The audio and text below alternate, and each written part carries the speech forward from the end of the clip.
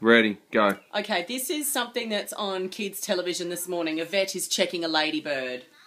Let's check So- your eyes.